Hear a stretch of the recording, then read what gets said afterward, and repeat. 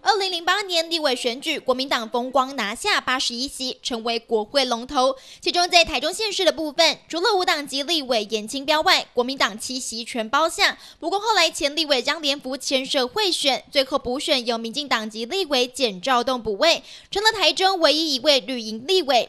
两千零一年台中市长选举，民进党气势强压现任市长胡志强，以三万票小输，也让民进党对于这次立委选举相当有信心。立委部分呢，哈，台中市这种这八区里面呢，我们真的非常有信心，最起码拿五席，啊啊，第一选区蔡其昌哈跟陈天旺啊这一席，因为蔡其昌他长期的经营，虽然他上一届选输，但是他哦不放弃在地方这种扎实的经营，他又是民进党中央党部的发言人啊，所以他这次哈重土呃卷土重来，他非常有信心。我们啊所做的民调，蔡其昌他应该也会大胜。立委的选举吼，甲咱地方关系较密切，就是讲大家拢熟悉嘛，所以个人拢有个人家己的本身的即个即个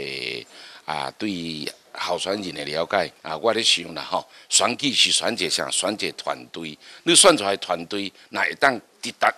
案面顶，拢有法度来讲话，我相信这就是正确的选择。在这次台中立委选举，两党走向不同。国民党主要推派老将来稳固席次，包括杨琼英、卢秀燕都相当被看好；而民进党则强打清新牌，推派首次参选的新生代战将，包括童瑞阳、何新纯以及张廖万坚来应战。何新纯哈，在大理太平这个选区哦，他是全台中市上一届哈市议员选举啊一百多个候选人里面，他拿最高票两万多票嘛哈。啊，而且哦，他不只是他的能力好，他基层扎实的服务，啊，他绝对能够胜选。郑丽文有他绝对先天上的优势，不管他的过去的从政的成绩也好，他的口才也好，啊，他的亲切度，我想这都不在话下。江启臣呢，他是非常优秀的政务官下乡来参政，也是他啊，希望把他的服务呢啊落实到基层。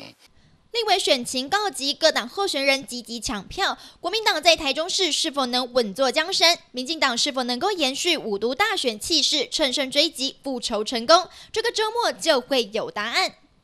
记者林春君台中采访报道。